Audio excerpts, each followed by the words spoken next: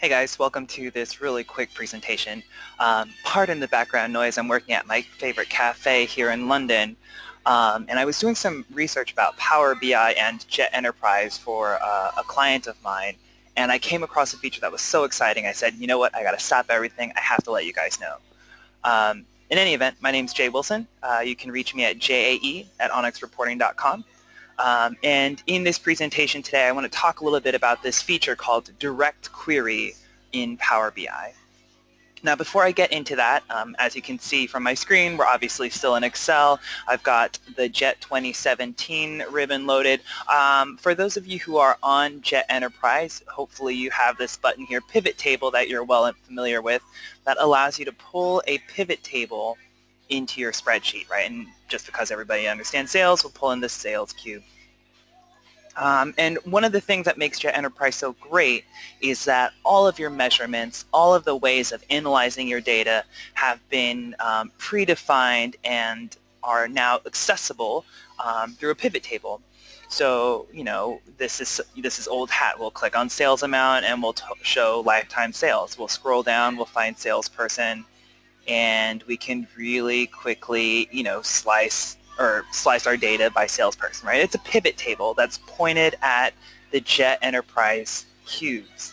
And that data is extracting data out of your transactional database, whether it's Dynamics NAV or AX or GP, right? The whole point of JET Enterprise is to, to give you this ability to slice and dice and analyze your data in pivot tables. Now, the conversation I'm having with one of my um, customers is they say, you know, th these spreadsheets in Excel, they're good, but we want something a little bit more robust when it comes to building dashboards. We want something a little bit more interactive, but that's not too flexible for, for users where it's really easy, you know, if I built a really, you know, structured report, it's so easy to, you know, drag and remove something, for example. Um, and the drill down ability, and it's, it's more work than we want, especially as we start having three or four or five um, charts or tables in the same um, Excel spreadsheet. And some of you are now hopefully um, considering Power BI, which is Microsoft's latest and greatest self-service business intelligence tool. Um, I think for a lot of JET clients, the, the toss-up is between Power BI or JET Mobile. Um, so if you evaluated Power BI earlier this year, it was okay um, because it's such a new product. Um, there's new features being added all the time, literally monthly almost. A new release of Power BI is coming out that's updating functionality, adding new functionality that previously didn't exist. So for those of you who were really early adopters and looked at Power BI, um, even as late as uh, I want to say June, there's a new feature that you absolutely have to know about. So um, what I've got open here, I've got the Power BI desktop open. You can see here I've got um, a couple of charts going on. It's the same sales cube. And of course, when I, what makes Power BI so great is when I start clicking on things, you'll notice all of a sudden everything starts filtering, everything starts changing.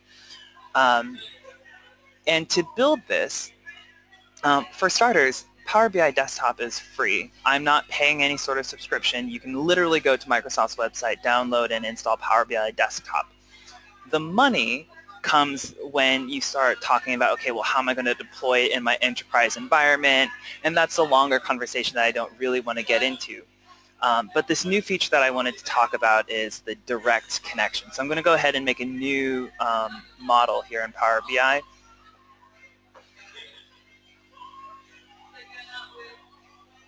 And the first thing it's going to ask me is, where is your data?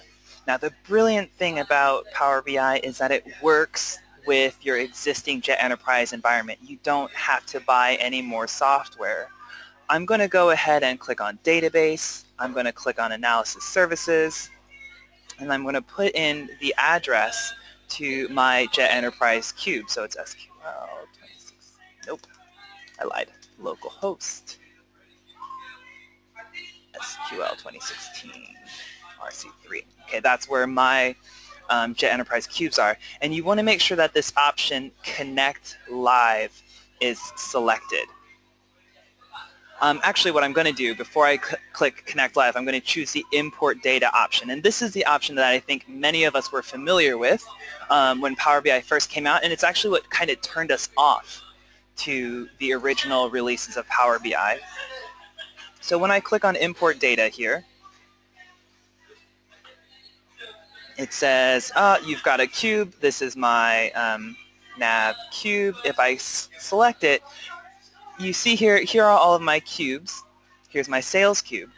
And what you had to do previously is you had to go through and choose each measure individually that you wanted to add into any sort of uh, into your into your data model in Power BI.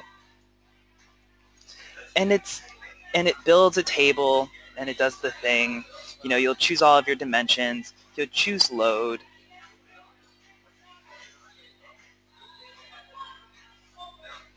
And you'll notice over here on the right, you, you have what kind of looks like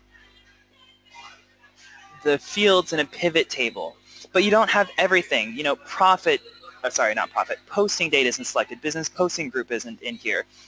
Um, the model that is created in the SSAS cubes, the model that we see over here in Excel, previously um, we didn't have access to that model and that's because we're importing the data into a new model that we have to define in Power BI Desktop. And that's, for me, that was a non-start. That's why I didn't want to use Power BI when it first came out. I'm going to make a new um, model here. And what's super exciting is that Power BI now supports, fully supports multidimensional cubes. Um, when I choose Get Data here this time, when I choose Analysis Services, I'm going to do the same thing again, localhost, SQL 2016, RC3. I'm going to choose Connect Live, and that's the, that's the new and shiny. Choose Connect Live. When you do that, this selection process looks the same. Notice here that the entire data model is there. All of the measures that I have in Excel, all of the dimensions, and even the hierarchies that exist in Excel um, are now part and uh, available in my Power BI model. I don't have to recreate things from scratch. This is huge. Um, let me swap over to this guy here, right? So again, all of the things that made Power BI Power BI really sexy and exciting. This idea of actually creating proper dashboards, actually having proper KPIs um, that you can just drag and drop from this list of visualizations. A lot of the stuff that Jet Mobile does, Power BI does as well. And the, the thing that I'm really talking about is the fact that this direct query allows me to see the entire data model all in one place. So for those of you who are have invested in Jet Enterprise, and you say, you know what, these pivot tables are good, but I want something a little bit more robust, something that I can actually, you know, create a file and then start sharing with people, um, Power BI might be the way to go. It is freemium. Let me spell that out so you can read that. it is freemium, which is a gradient scale between free and premium.